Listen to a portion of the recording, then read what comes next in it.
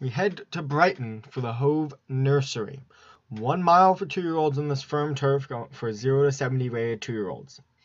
The top rated horse is the uh, horse Madness in the Fast Lane for Stu Gray, also the favorite in this race. Uh, this horse was third last time out in the Bet Victor Mile Juvenile Championship. Uh, ran a ninth in the Windsor Castle Stakes. Uh, still waiting to break the maiden, but has been running against very good company in most of his starts. So the 14's in line. We are ready for the start.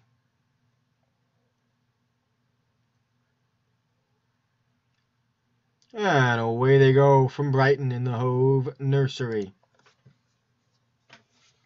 So it will be a good start, and right to the front is Bayron. Bayron, the leader, about two lengths over Zalano Fire, the stablemate, and Estampe della Butte. Then Captor Vitachi and Mystery Hans. Fiddles is behind them on the outside, then a length back to VJ, DJ, and two lengths back to Teleprompter. Then it's Blue play on uh, the rail on the outside mass in the fast lane. Swedish Czars behind them, then Lady Shipley and Dahlia, and Baka Queen is the trailer as we entered inside five and a half furlongs to go. So it's Bayron out in front, Estampe de la Butte is next, and Captor Vitachi. Then it's Mystery Hans and Fiddles, VJ DJ, a length in front of Blue Play and Solano Fire. Then it's teleprompter madness in the fast lane. Swedish Czar stuck on the rail uh, with Dahlia. Then it's Lady Shipley on the outside and Baka Queen still the trailer.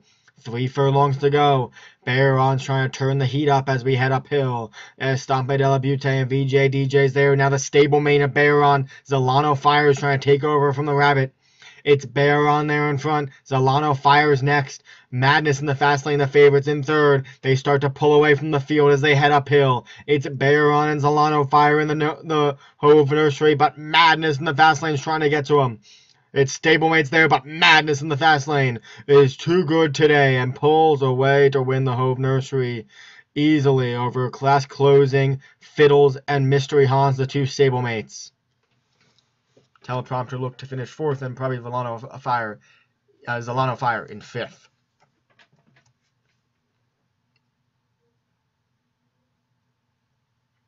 So Madness in the fast lane, the top rated horse for Stu Gray, will get the finish over Fiddles and Mystery Hans.